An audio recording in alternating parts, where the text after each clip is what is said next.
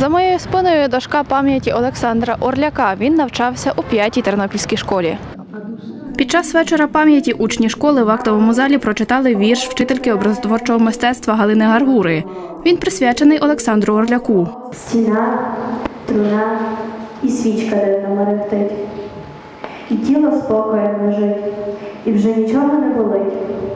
Лише душа тихенько у куточку поправляє йому сорочку. Один з уривків вірша виконував Матвій Вільчинський. Олександр Орляк був е, гарною людиною для України. Він зробив багато доброго, добрих речей. Він е, не чекав, поки всі будуть воювати. Він хотів допомогти Україні в тяжку хвилину. Настя Рібка навчається в 7 А. Каже, її сестра на два роки молодша за Олександра Орляка.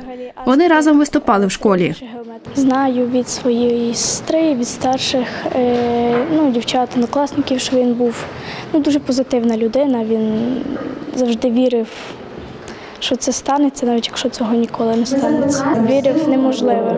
Сергій Коваль, вчитель історії, каже, вчив Олександра Орляка з 7 по 11 клас. Він не був спокійної вдачі, і здавалося, що ніколи він в майбутньому буде шукати якусь свою іншу долю. Але бачите, склалося так, що коли е, сталася біда в Україні, він е, одним із перших пішов.